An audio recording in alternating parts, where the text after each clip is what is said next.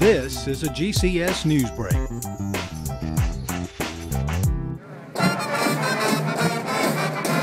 The Dudley High Marching Band is among more than a half dozen bands from Guilford County Schools stepping through the streets of downtown Greensboro for the annual holiday parade.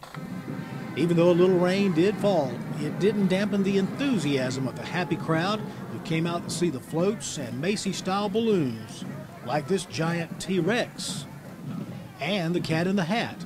The Greensboro Holiday Parade, which is presented by the Greensboro Jaycees, has been a tradition for more than 37 years. This has been a GCS Newsbreak.